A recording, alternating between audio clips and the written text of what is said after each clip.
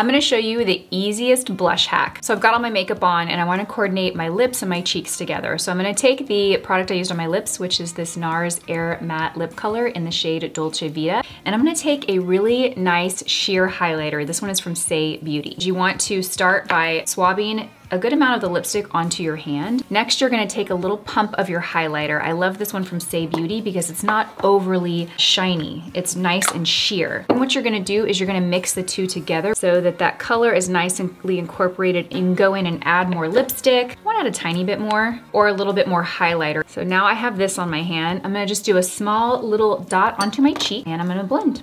You can also go from the brush to the product if you wanna build it to get your desired color payoff so beautiful. This highlighter is so beautiful. It's so natural. It's not overly pearlescent, so it really does give you this glow from within. You guys, this is amazing. Let me know if you try this hack and what you think.